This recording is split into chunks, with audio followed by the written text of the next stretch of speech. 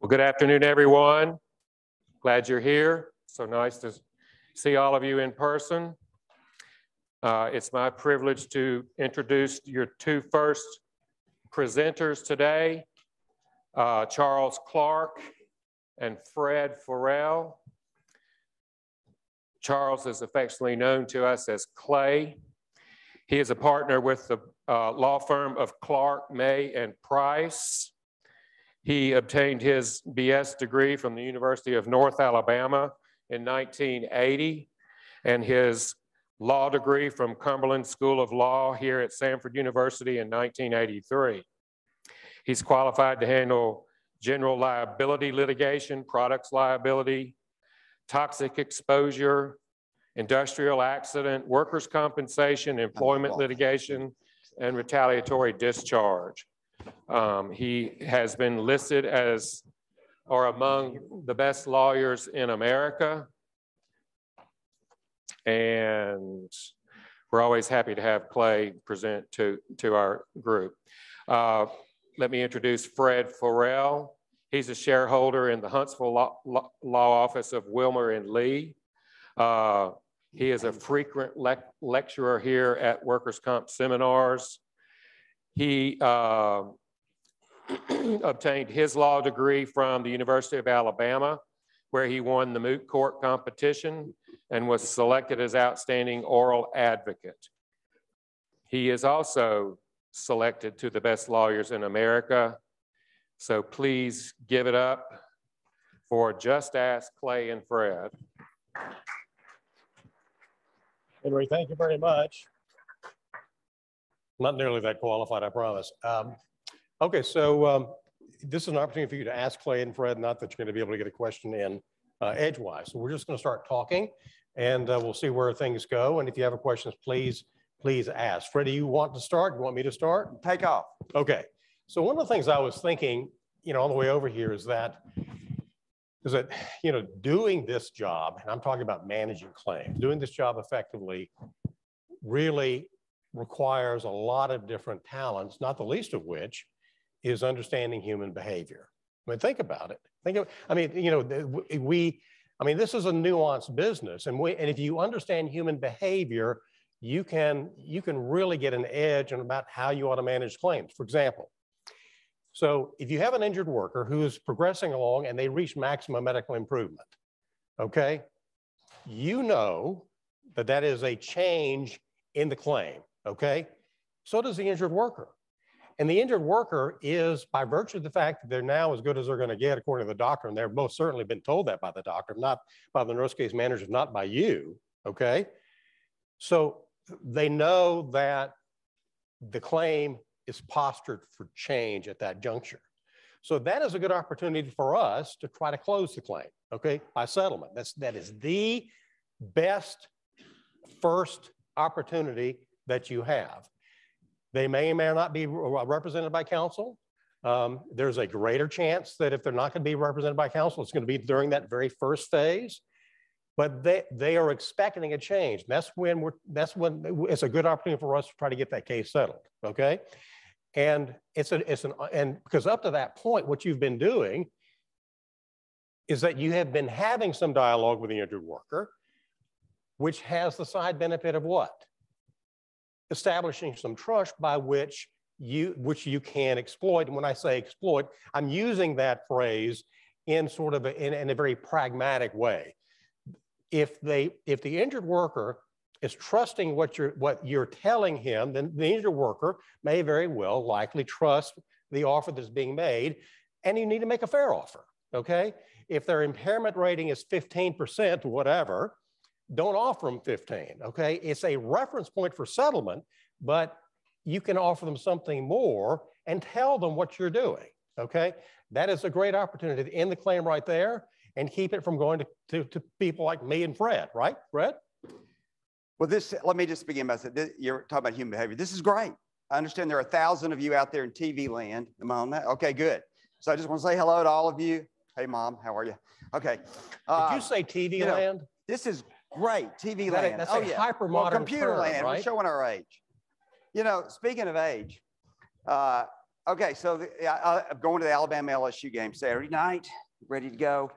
And I love football, as I've told y'all before.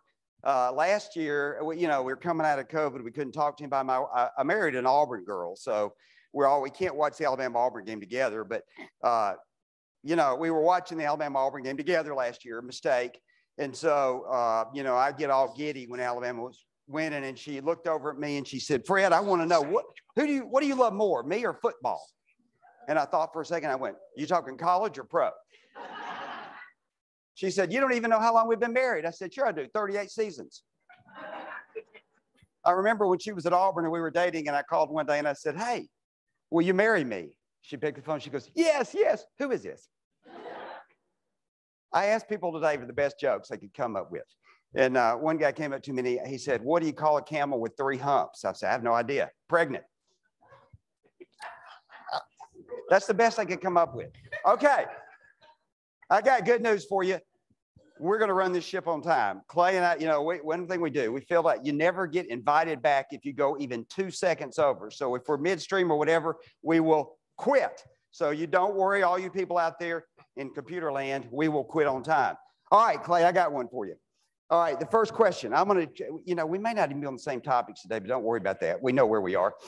Uh, my first question is, you know, Vince Lombardi used to tell the Green Bay Packers, at the beginning of every year, gentlemen, this is a football. It's a simple game. And it seems to me that one of the things I've noticed is that we forget that sometimes. This is not nuclear physics. We're not inventing the atomic weapon here. This is work comp in Alabama. But the question we seem to miss sometimes is we get a claim and we start processing it. Nobody actually says, did an accident occur in the course of employment? And so the biggest mistake I always, and I, I want to say there was two or three mistakes I'm seeing out there. One is you think because they got hurt on the job, it is owed. That is not necessarily true.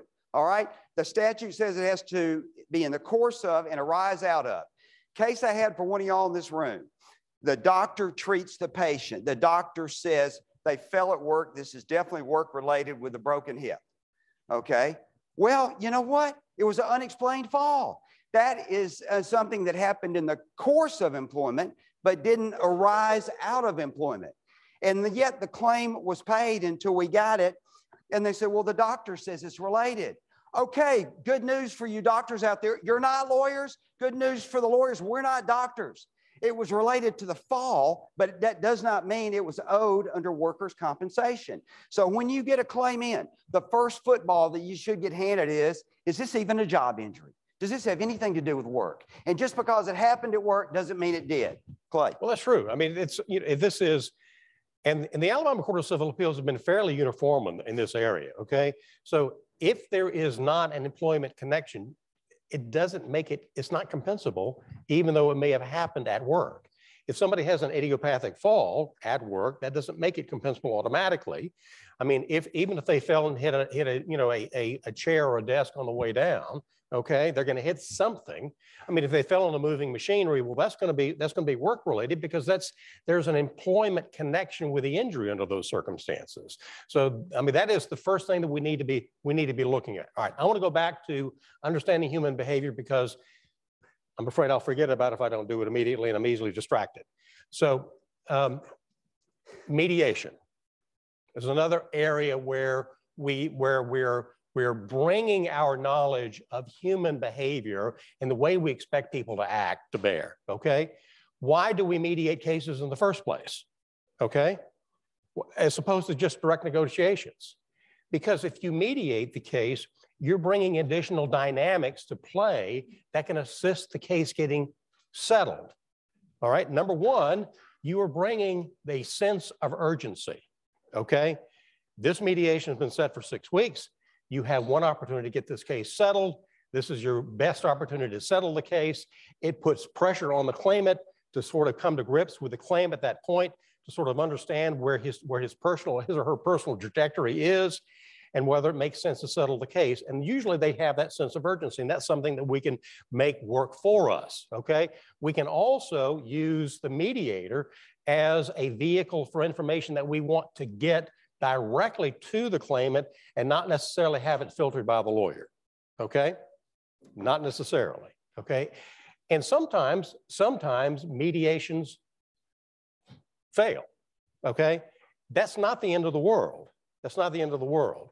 Now, I am a firm believer that you come to mediation with, with some authority based on an appropriate evaluation and can come prepared to settle the case because that's just a matter of good faith and good form and it's what we should be doing okay? And it's and it also conveys a sense of credibility. But if a case doesn't settle at mediation then suspend the mediation. Suspend it. It's not the end of the world. And if the parties are apart by a by a reasonable sum of money just a do you know what happens? Do you know a strategy that works every single time? You let a few days go by and you come back and you say, why don't we split the difference? It has worked every single time I've tried to use it. Fred, we've no, used that before, right? In, in cases you've mediated. We have, I agree. I'm back on my track. Is it a football? All right. You stick with the human behavior, I'll stick with the football. Here's what we do. All right. Here's another one that I'm seeing a classic mistake. And unfortunately, I've been involved in some mass shootings in some cases, in some comp cases. Some many have been in the news. You've seen some of them. But several years ago, was involved with a case where two guys got into it at Ruth's Chris here in Birmingham. And they tried to file a comp claim. One of them's hurt, and one of them threw hot water on the other one. Okay. Well, he, why, eh, you know, I'm like, that looks just like classic classic, uh, I, I, a personal thing. Well, the guy who got hurt says, no, we were fighting over the arrangement of the shrimp on, on the shrimp bar. You know, that happens. We see that occasionally. And uh, people don't like the looks of it. And so they said they were fighting over it. Well, we denied the claim. Juster, by the way, got sued for outrage, got, got rid of that on summary judgment, uh, but denied the claim because what we found out was that what they were really fighting over was the chef. They both like the same person. And this was a romantic deal. All right. Now, that does not arise out of employment. It happened to work. It's a reported case called Beverly versus Ruth Chris now in the state of Alabama. Does, it does not arise out of employment. That's the football if it is related to personal things and not to work, similar to the idiopathic fall that I talked about earlier. And one other one I mentioned, Clay, and uh, as we as we go in our different all alternate universes here, that one of the things too is also the case of the traveling employee. And I tell you, this is going to be an interesting year. We had a case, bad facts make bad law. They, all, they told us that in law school, and it's true. So you got to be careful. You got to pick the ones you really want to go to court with. But it was a horrible tragedy where a woman was killed, and, and we, you know, but we didn't know if we owed it or not. She'd been an employee for 20 something years. She went on the wrong, or somebody went on the wrong side of the road and killed her. Claim was denied. Ultimately, the Alabama appellate court said it was owed because she was going to work at home and she was taking her equipment with her and they allowed her to work from home. All right. Now, the thing that's going to get interesting, and I think the challenge for us in when we're going, is this owed? A lot of us are working from home right now. What if you are at home right now watching this Zoom conference? Watch us get like 25 claims for this after I mention it. what if you fall over your cord and you break your hip because you were trying to watch this conference, but you're at home, but you're at work. Is that going to be covered? And I think we're going to see more of more of this with all this COVID stuff. Although it may be gone, I think it's gone. It might be gone. Clay. All right, I agree with that. You know, one of the things I'm seeing a lot, and and I this is something I've not really expected, but I'm seeing this in cases recently, and we've got we've got probably three or four in our office right now where where the claimant, for reasons that are not clear, goes off and does their own medical treatment. Okay, so what does that do to us? I mean, we, we went to a hearing recently where plaintiff counsel says, I routinely tell my clients that if they feel like they need surgery, go, go to find a doctor and go get it done. Well, that's just, that's just not, that is, that is, that is, that may relieve us of legal liability, okay? And I don't know what is going on with, with the plaintiff's bar, whether or not this is a new thing or not. Now, they communicate a lot more effectively than we do, and they're plotting against us all the time if you have any difficulty sleeping. But what we need to, to do is, is, is, to, is to develop a law in this, in this respect for our side. The law is already pretty good, okay? There's all these cases out there that stand for the proposition that, look, if you go out and get an, an unauthorized surgery, you are depriving us of our ability to manage the claim, which the cases in Alabama throughout decades have invested in the employer, the TPA, and the insurance company. Okay, we have that ability. We, the, by, the employee then changes the entire medical landscape by getting surgery that wasn't authorized. So the question is, well, if, if the other, if the ATP didn't say it was authorized, now you've had surgery, how does that, does that then relieve us of any liability for future medical treatment? It probably should because the entire landscape is, is changed. How do you know what disability is related to the original injury and accident and what's related to surgery done by somebody else we had no control over? Does it also impact our, our obligation to pay compensation? I think that it probably does. How can you determine whether it's not, not somebody's permanent, partial, permanent, total when you have unauthorized treatment that changes things in a permanent way? Fred? Yes, to all that. All right, now let me, I'm moving on. Number two, after we find out if there's an accident, here's the next point I want to get to. What is the injury? All right, here's a shocker for some of you out there. This is not health insurance. We don't cover everything. We got to figure out what the injury is. Okay, they got hurt on the job. All right, we figured that out. Now let's see, what's the injury? Now they're going to come in there and they're going to say it's a low back, it's the upper back, it's the hip, it's the leg, and the foot. It is very important to establish the beginning what is the injury. And I'll tell you what's even more important, and I'm getting ahead of myself, and Clay and I have talked about this before. Settlement documents define the injury going forward, by the way. So you better make real sure if you leave medical benefits open that you define the injury, get with the lawyer, make sure you know it in advance. But we got to make sure. And somebody asked me, we, somebody asked me a question about uh, case nurse workers out here.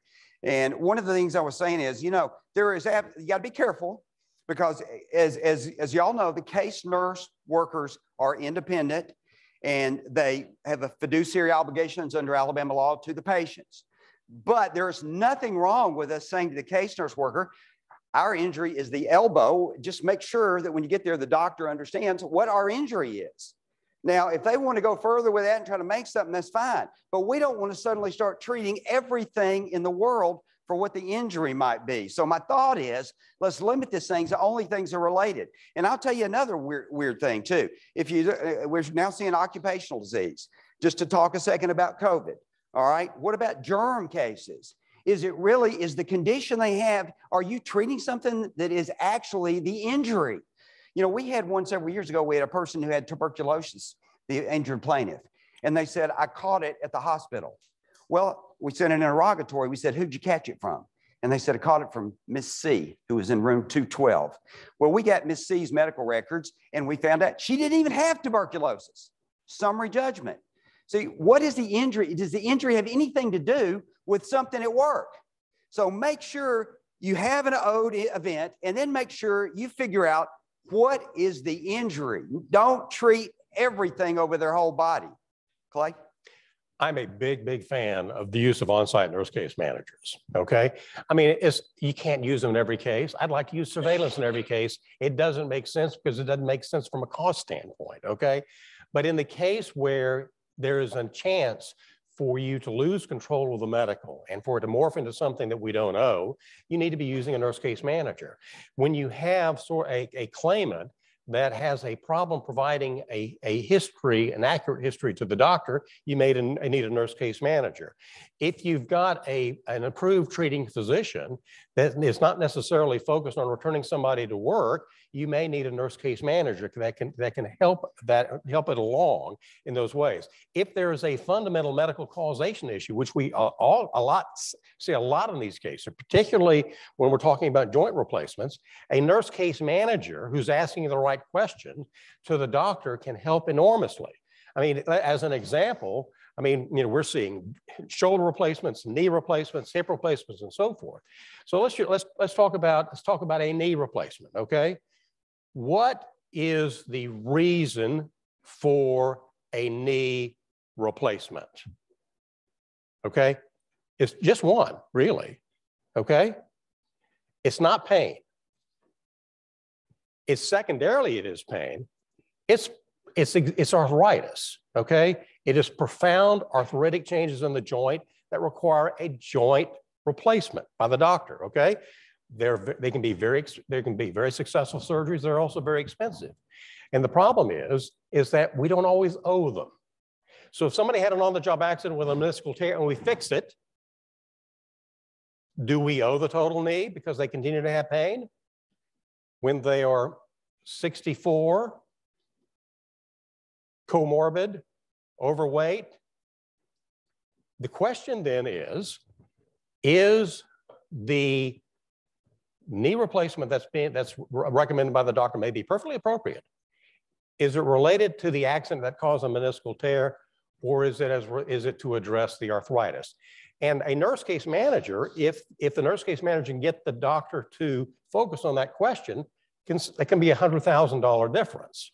Okay, in the medical aspect of the case alone you know, but you keep in mind that the doctors are trying to treat the patients. They're, they, you know, they're not necessarily focused on who owes it necessarily. This patient needs a total knee replacement. Well, the question is, from our standpoint, do we owe it or do we not owe it? Fred? All right, my third point. All right, we're moving on. Oh, wait. Are you going to have to make question? it quick? Somebody we're on live TV.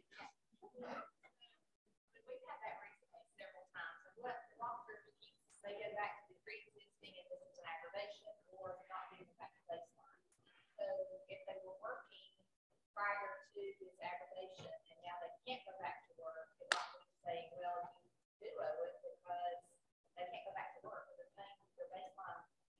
Well, and, and sometimes you're going to lose that battle. You just are.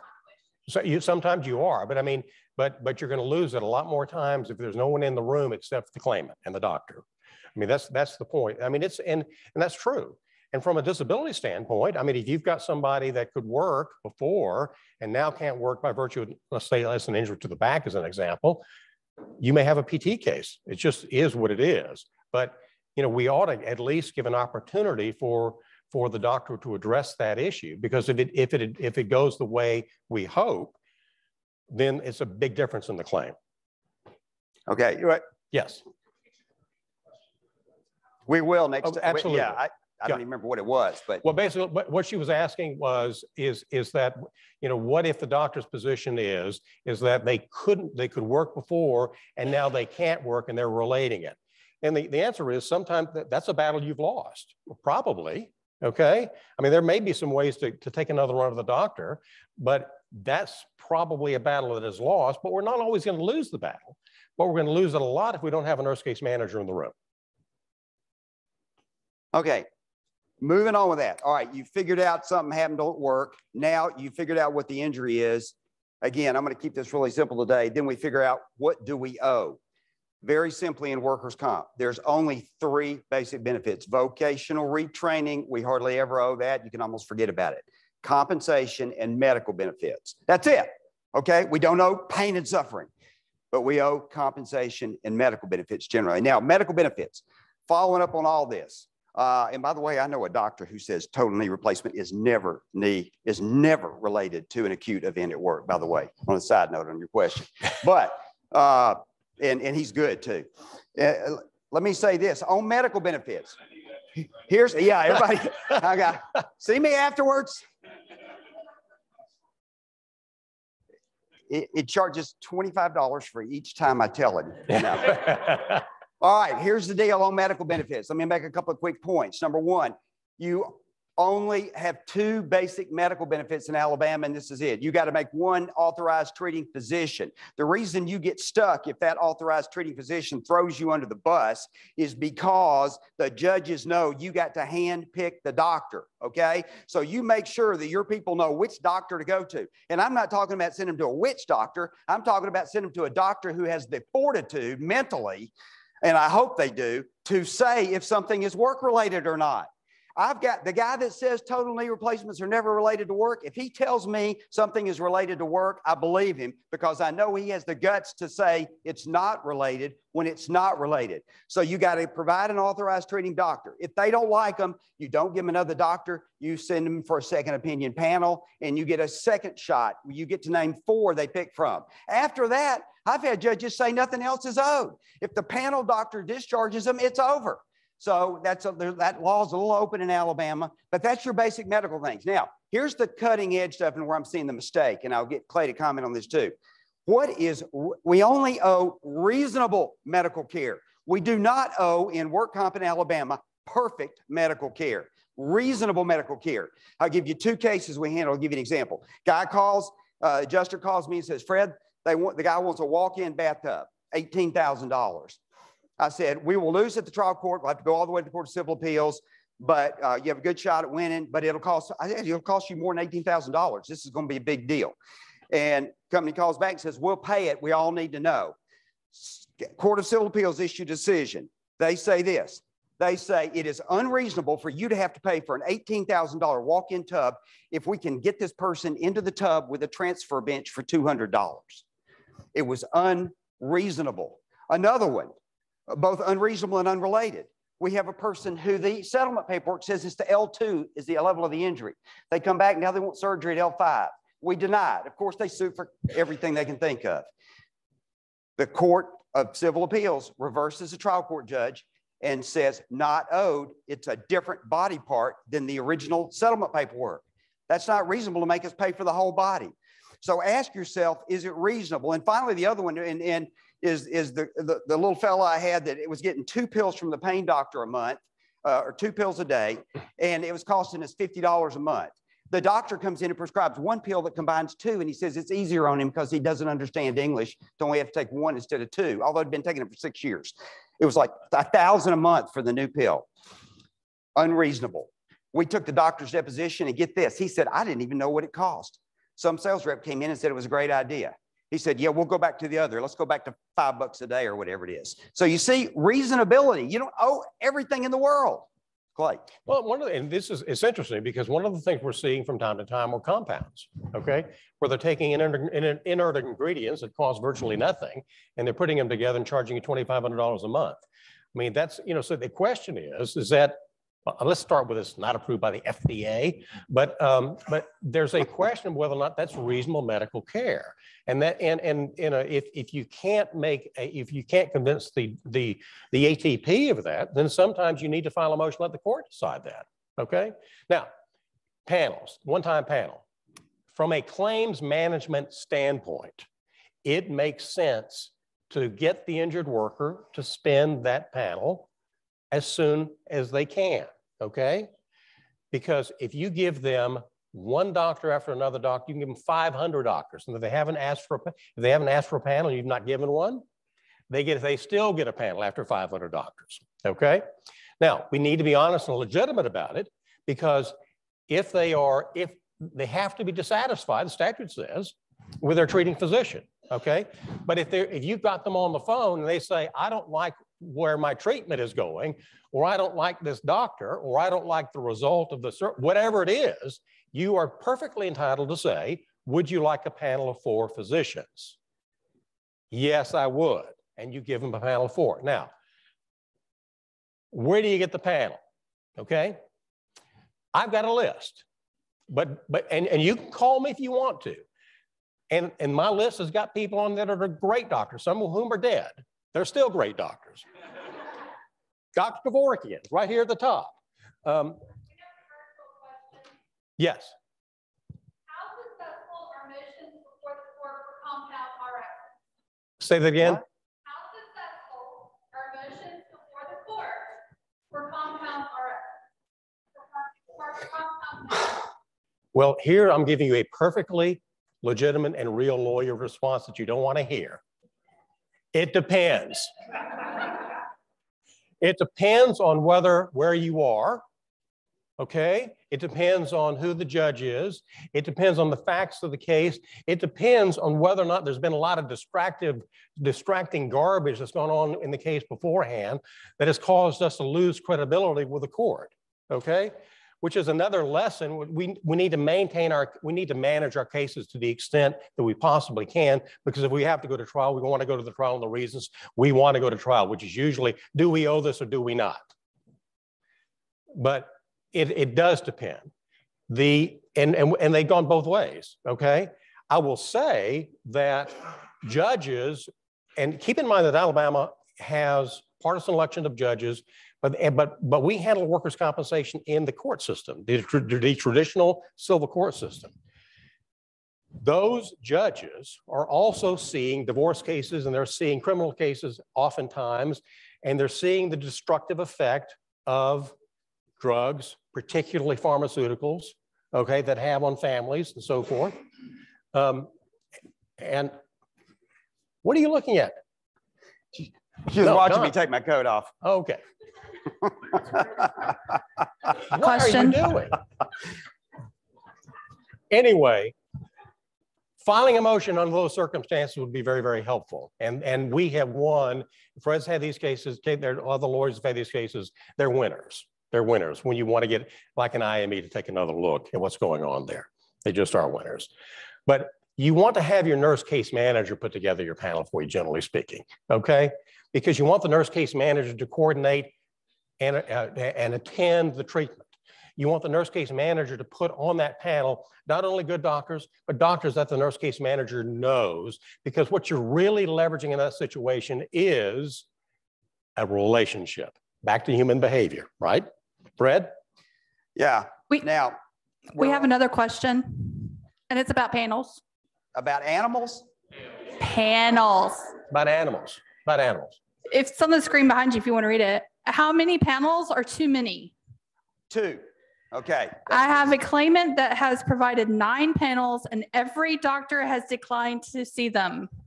Okay, I've been down that road. Let me just tell you, that's a bad road to go down. You need better doctors, obviously. But I have been down that road and the Court of Civil Appeals has told me to go back and keep getting more doctors. Okay, that's not fun. But that is just real sometimes. You got to find four doctors who will take treatment. Your nurses, as Clay said, are a big help with that. Now, all right, I'm going to move on. I'm, I'm still on Well, my let me, let me, let me right, ask add some- something. you know, I'm the- going the my pro- track. The problem, the problem with that situation is this, is that, and I think it's a legitimate question.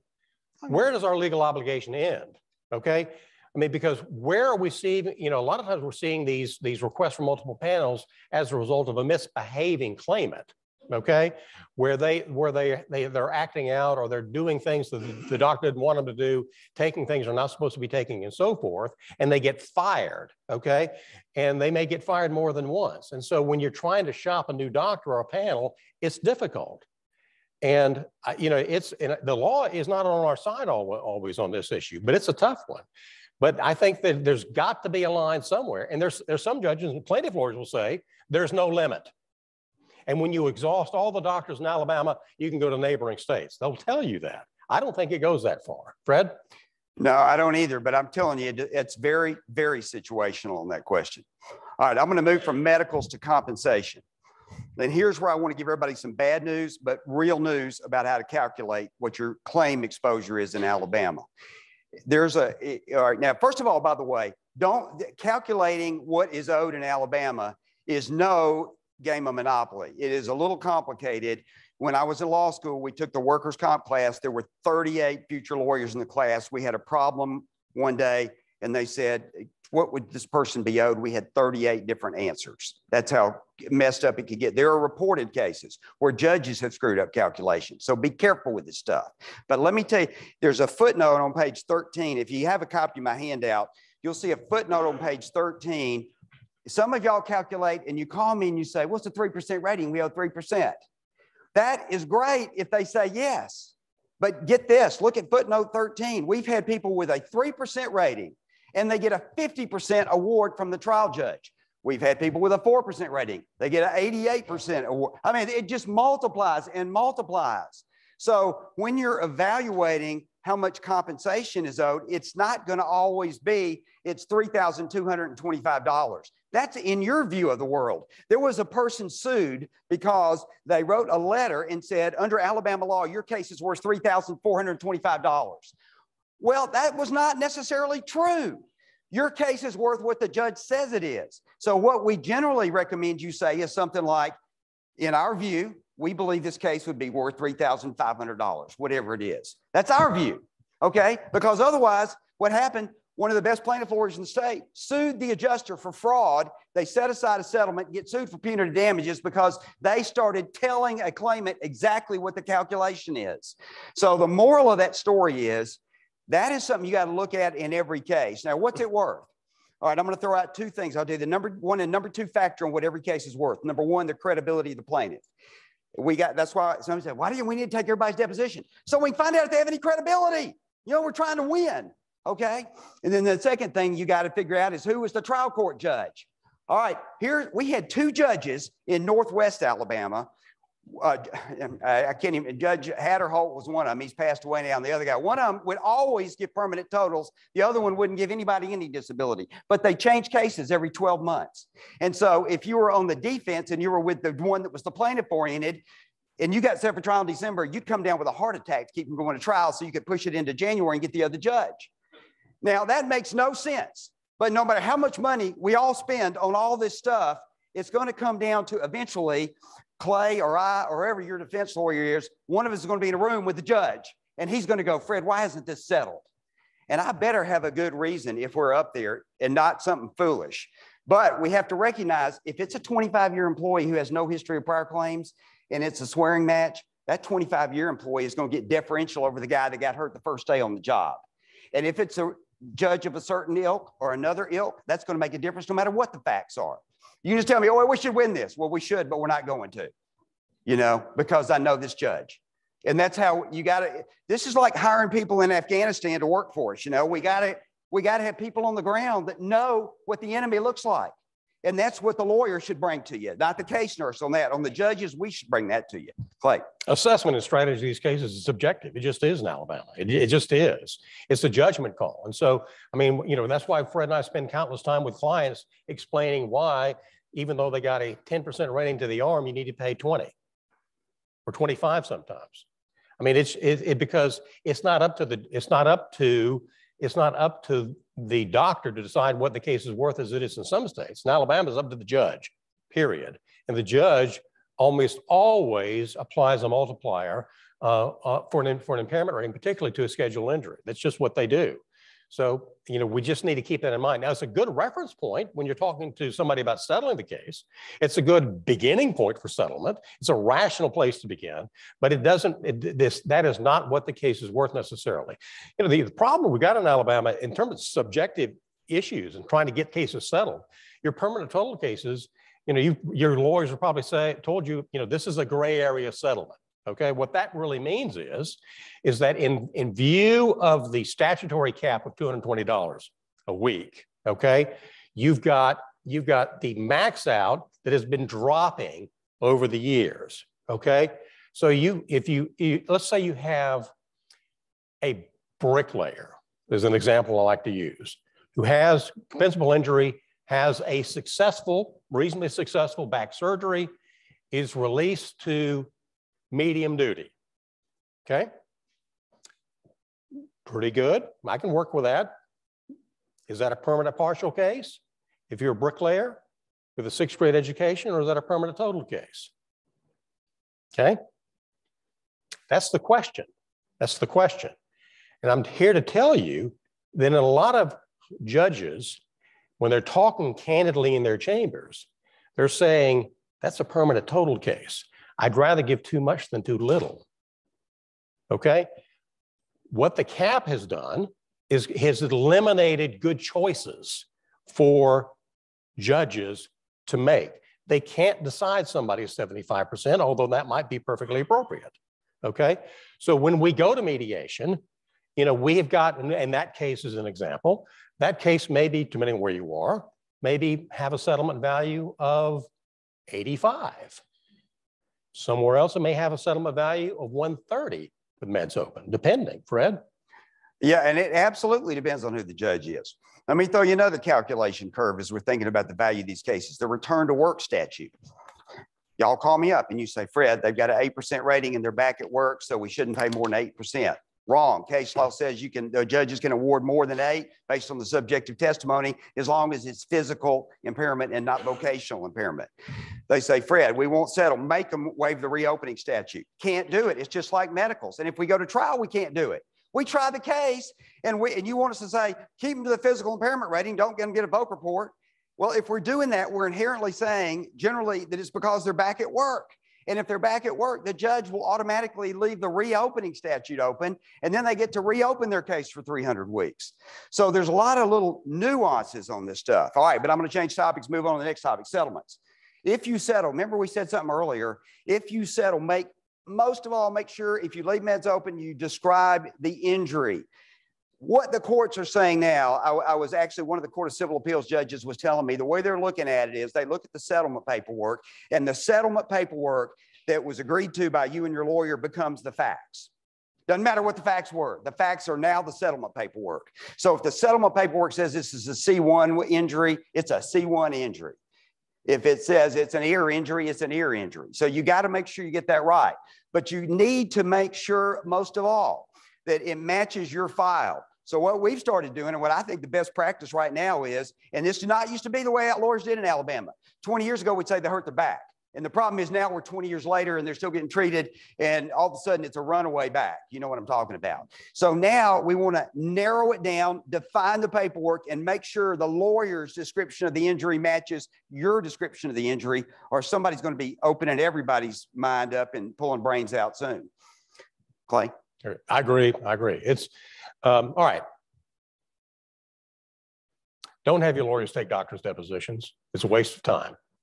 Okay, there are some exceptions. There's some exceptions.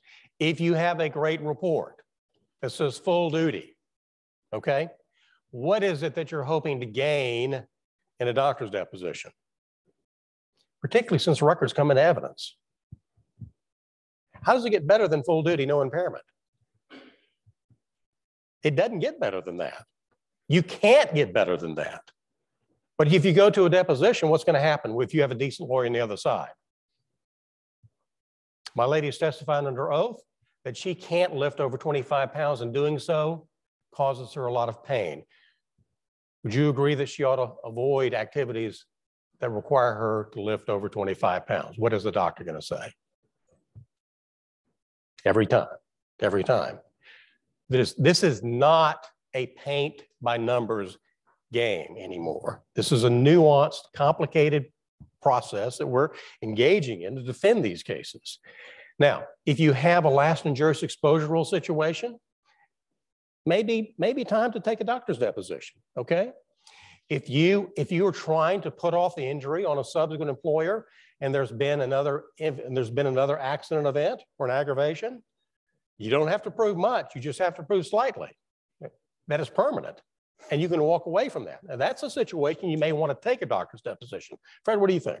Yeah, and you you might you might I, I, would say this: you can't get any better than no impairment, no restriction. So don't take their deposition because what happens is the other lawyer, the plaintiff lawyers, even the bad ones, will go, "Well, isn't it possible that he actually cannot do the work?" And the doctors will go, "Well, I guess it's possible." And then we have to go, isn't it possible they're a fraud? Well, I guess that's possible too. I mean, it just goes back and forth, but then the judge ends up with a factual dispute, which you've created. Then, if we go to trial and you have a judge of the plaintiff ilk and you have a credible plaintiff, all of a sudden you get blasted and you wonder what happened. Now, let me talk about after the settlement. Here's the latest phenomena that's been going on now for about five years, and that's you're all getting sued after the settlement when you deny medical treatment and you sit there and we have the only two big reported outrage cases in Alabama where adjusters denied hot tubs. Okay. So when I did that one where I told you about with the walk-in tub, we filed, we instead of just denying it, we filed what is commonly now called the post-judgment motion. Instead of the adjuster taking a chance on getting sued for outrage and they're being held in contempt, what we try to do instead is we go, Judge, we don't think we owe the walk-in tub, but we need you to tell us. And we had an interesting case went all the way to the Court of Civil Appeals after I got slammed. I, they said, pay for the surgery and won. And they said, paid the guy his attorney's fee of $8,000. And what happened? We appealed it. Court of Civil Appeals took it away completely from them. And the Court of Civil Appeals said, because we filed the motion first, rather than just denying it, we could not be held in contempt. Then on top of that, they went further and said, we don't, didn't even know the surgery. Okay, so they got zeroed out. But I knew the local judge and I knew the Court of Civil Appeals. So you can see it's going to have to play out. So all these things, all these things are these variables.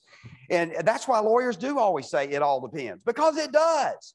You know, this is not black and white stuff. This is really murky. Okay. And, you know, it can go all over the place. Clay? On a compensable claim, you end medical treatment at your peril. Okay, you ended at your peril.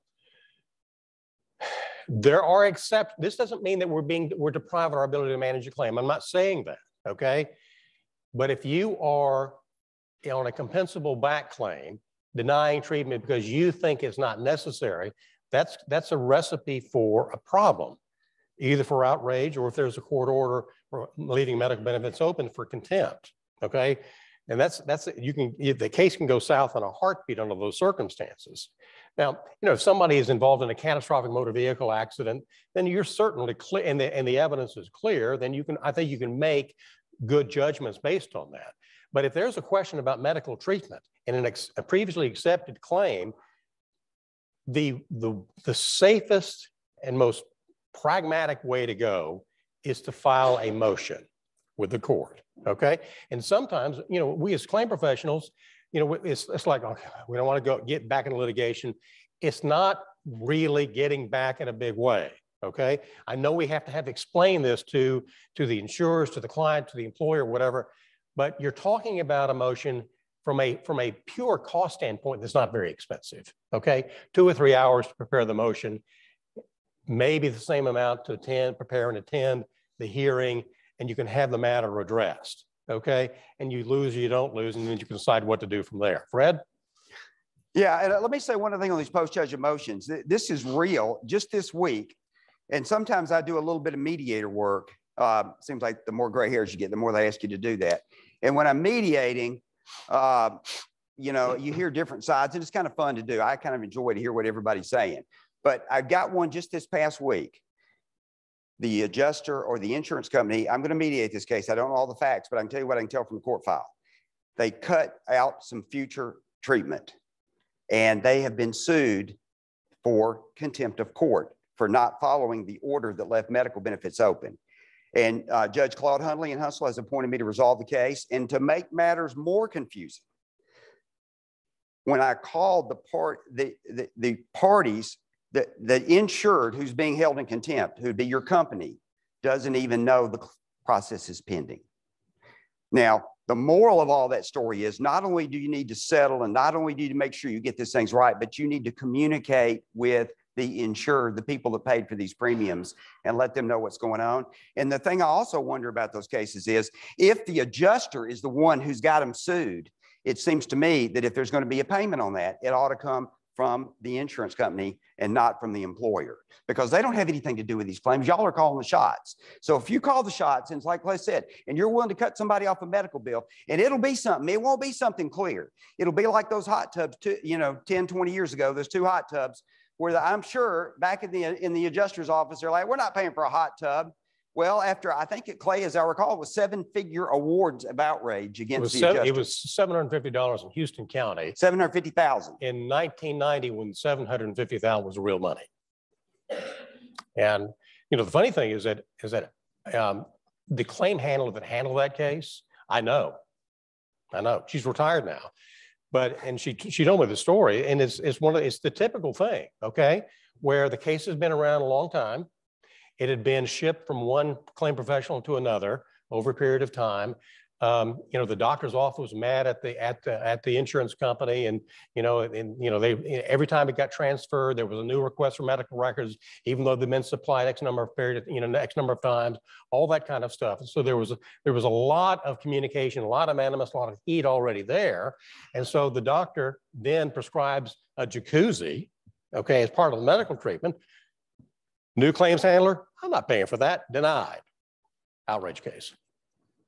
I mean, that's what happens. Mhm. That's what happens. I mean, it's, you know, it's, we're not seeing as many uh, outrage cases as we used to, you know, because we're able to keep track of files and, you know, we don't have hard files that people have to handle anymore. Everything's pretty electronic and we have things in front of us pretty easily. So we can look easily and see what the claim history is. We are vulnerable to contempt actions. Okay, that is, that's the new revenue stream for plaintiff lawyers that are looking for that additional hit in cases. Um, we see that, we see that, we see that a lot. That's also another reason that if you are going to leave medical benefits open, that those settlements need to go through an ombudsman and not be court approved, at least initially. Okay, that doesn't make you, that mean you're immune for a contempt action at some later time, but you're going to get a shot across the bow because there's nothing pending before the court. Fred? Yeah, and just think about that. you get held in contempt for disobeying a court order, not an ombudsman order. Okay, so that's when we're closing meds now. We're all, like Clay said, we're all moving toward doing the BRC route.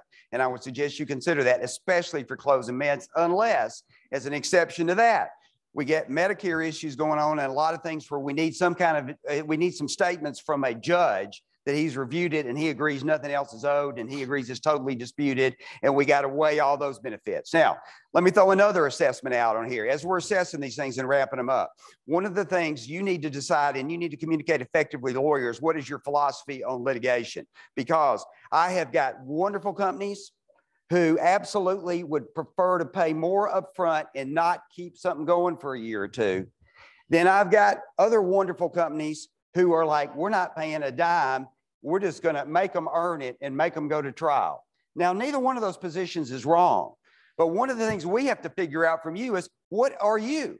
Do you really want to do this? Because if you call them and say, just turn down the settlement, just go forward. Well, that's fine. But in two years, don't be telling me, oh my gosh, how'd we get a legal fee? Well, because we could have settled for this price two years ago. So why not settle it now? I've got, uh, I had one, we had one going on where it was all about a back surgery, totally disputed. And I'm Clay seeing the same thing. If we lose the case, we owe a $75,000 procedure, plus it'll probably become a permanent total. So the company says, fire all guns. I don't care what it costs, defend it, fight it off. We don't believe it. Turned out this guy wasn't very credible. We had like his Facebook picture, you know, holding his guns, which I'm a Second Amendment guy. I didn't have a problem with that, but it looked, it looked pretty something. But we, we had that for the judge. And then he changed his Facebook page to a picture of him shooting a bird at us. Okay. Judge didn't like that either. So we ended up getting a zero, but we were getting ready to try that case.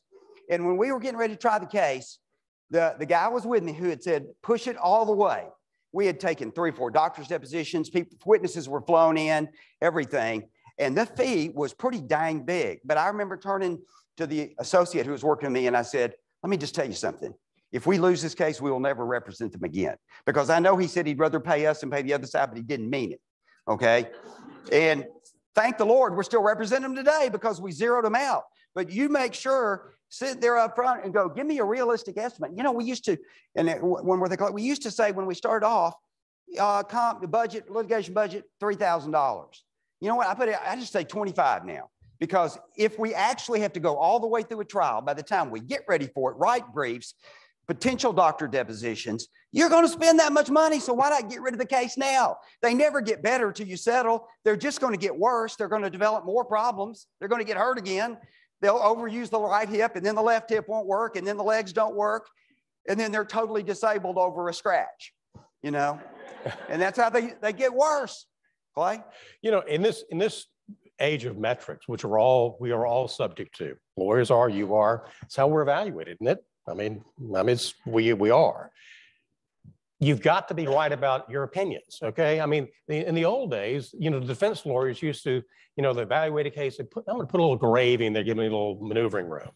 That is just, that's just not correct. It's not, it's not the right way to do it.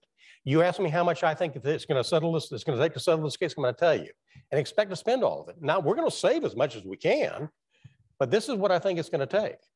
You know, it's and sometimes, you know, sometimes we're we're confronted with situations where, you know, we have used strategies in the last year or so in a couple of cases. It's rare that I never thought we would use.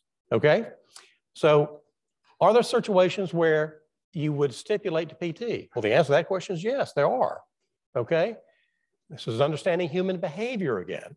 So what, and I've got this case now. So You've got a case where you're currently paying TTD, they're about to get to MMI. You've been paying a long time, okay? They're represented by counsel. This person, even though they're not an MMI yet and will be soon, no question is PT, okay?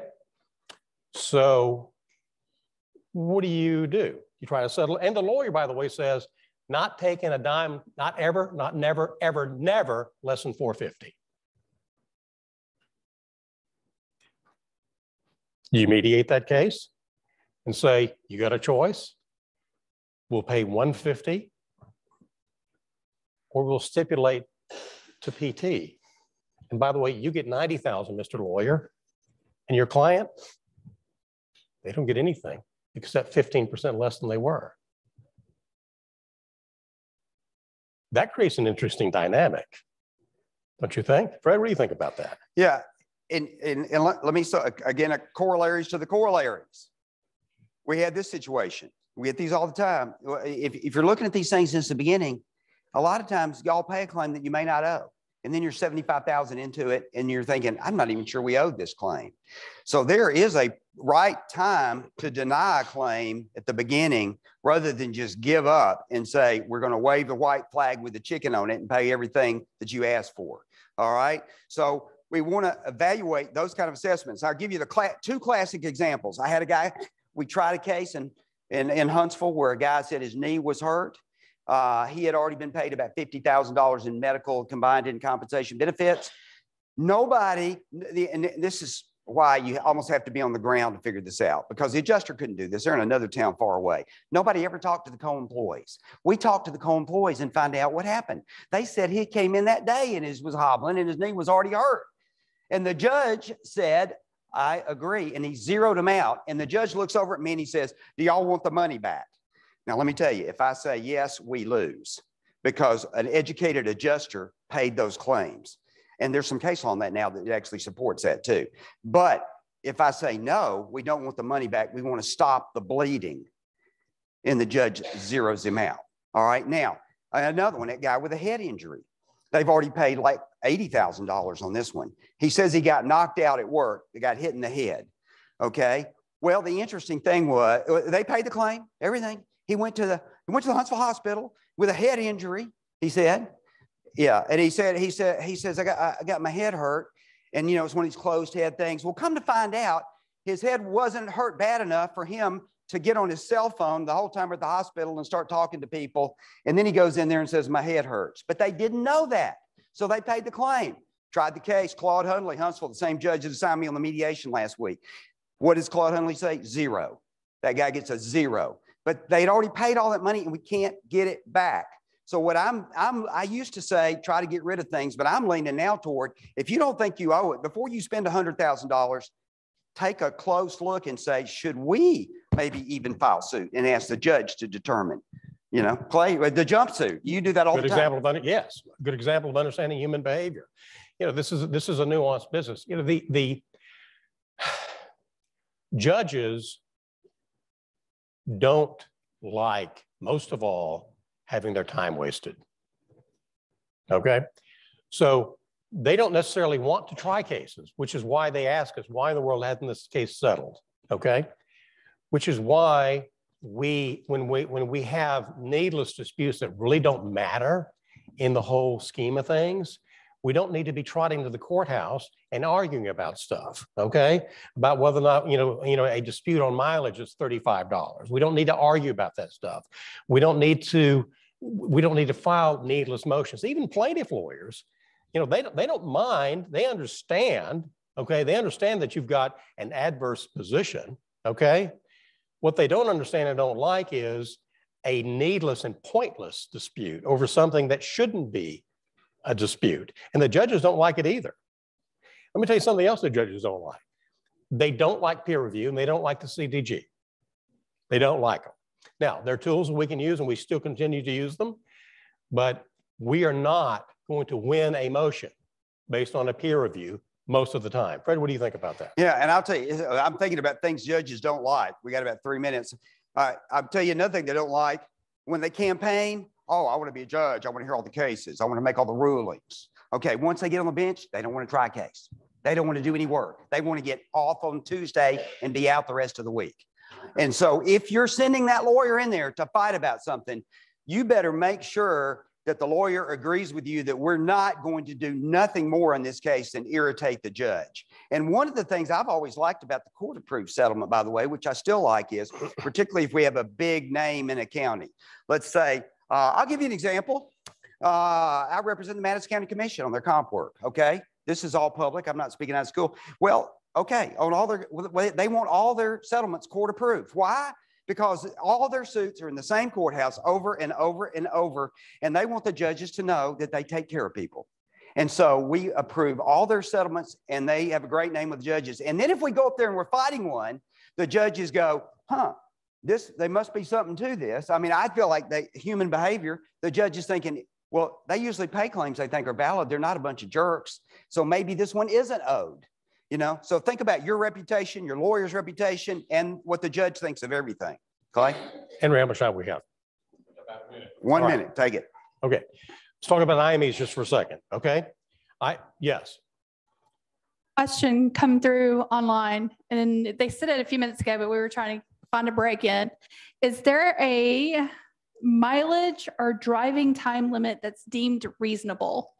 A, a time limit? A driving or mileage limit that's deemed reasonable for It is. treatment? It's got to be reasonable, okay? They can't drive, they can't leave Florence, Alabama and drive to Mobile to go to the pharmacy. And, and Clay and I had a case in the Court of Civil Appeals where they actually said you could, they, they get to pick their pharmacy in Alabama if they want to, by the way. But it said if they do pick their own pharmacy, they can't like pick a pharmacy in Houston and charge you for mileage. So it's going to be what's reasonable. And I know everybody hates that answer, but that is the real world. We got to look at this. And that, it's like the guy said to me, the, with our criminal law professor, which I didn't care for the criminal law, but I like the guy. He said, every case you pick up, we got this and we got this and we got this and we got this. And nobody knows, you know, and he was right. Nobody knows. So why are we here? I can't. Thank you. That's it. Thanks, everybody.